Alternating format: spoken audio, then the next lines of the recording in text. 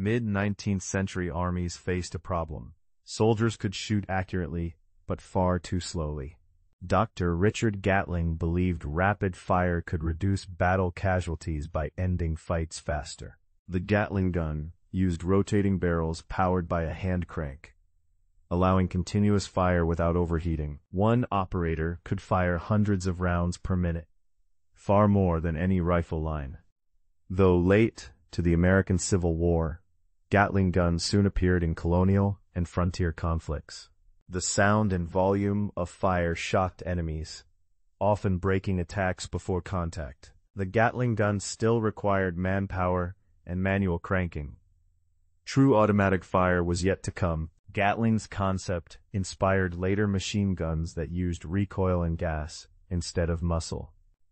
The Gatling gun proved that sustained rapid fire would dominate future battlefields.